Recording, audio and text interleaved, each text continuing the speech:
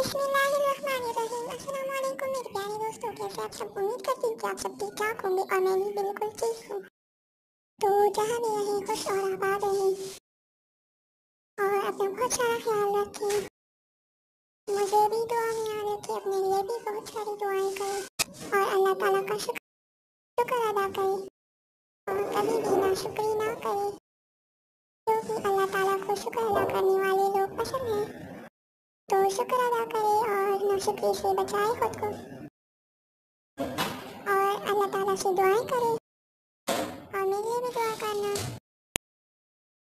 और अच्छा सोचे और अच्छा करे। और कभी भी ये ना सोचे कि उसके पास ये चीज़ है और मेरे पास नहीं है। बहुत सारे लोग होते कहते हैं कि उसके पास गाड़ी है, घर है मेरे पास नहीं है तो ऐसा नहीं सोचना चाहिए।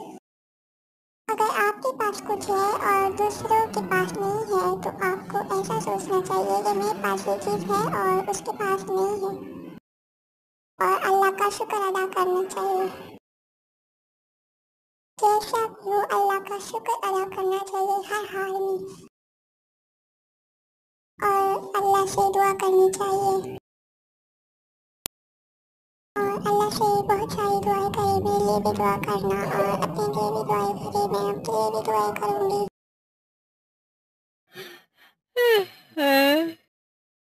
तो अल्लाह का शुक्र अदा करना बहुत ज़रूरी है।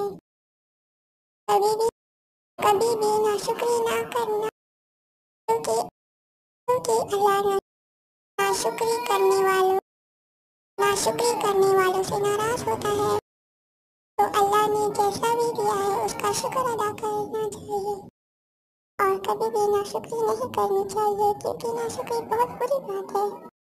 तो इसलिए अल्लाह का शुक्र अदा करें। और अगर आपको कोई चीज़ हासिल करनी है तो पूरी कोशिश करें। और उसे हासिल करें, क्योंकि कोशिश करने वालों की कभी हार नहीं होती। और अल्लाह से दुआ करें। अल्लाह आप लोगों की दुआ को ज़रूर कबूल करेगा अल्लाह बहुत मेहरबान और रहम दिल वाला है। तो इसलिए अल्लाह का शुक्र अदा करे और ना शुक्र ना करे और अल्लाह से दुआ करे। और उसका शुक्र अदा करे। जब आप अल्लाह का शुक्र अदा करते हैं तो वो आपसे बहुत खुश होता है। तो इसलिए शुक्र अदा करें अल्लाह ताला का और नमाज़ पाँच टाइम की पढ़नी चाहिए कभी ऐसा नहीं करनी चाहिए। आजकल तो लोग नमाज़ पढ़ते ही नहीं है। इसलिए नमाज़ पढ़ना दोबारा से शुरू कर दो, अगर जो नमाज़ नहीं पढ़ते। कुछ लोग सुबह का नमाज़ नहीं पढ़ते, कहते हैं कि मैं उठ नहीं पाया तो उठने की कोशिश किया करे। और फजर का नमाज़ अदा करे। अगर आप लोग ऐसा करेंगे तो अल्लाह आपसे नाराज़ होगा। इसलिए पाँचों टाइम की नमाज़ टाइम पर पढ़ा कीजिए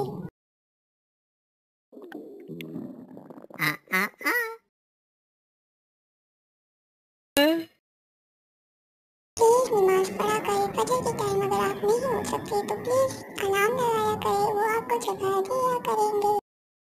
तो अल्लाह ताला का बहुत बहुत शुक्र अदा करें।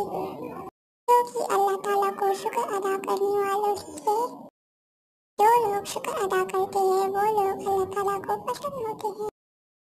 तो अल्लाह हमें ना शुक्र से बचाए और हमेशा शुक्र अदा करें।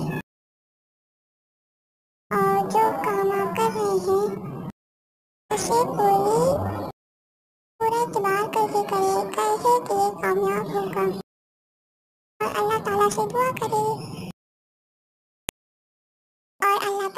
लोगों की दुआ को ज़रूर कबूल करेगा इंशाल्लाह तो अल्लाह से दुआ करनी चाहिए।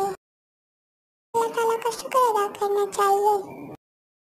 तो अपना बहुत सारा ख्याल रखिए, मुझे दुआ में याद रखिए और अपने लिए भी बहुत सारी दुआएँ करें।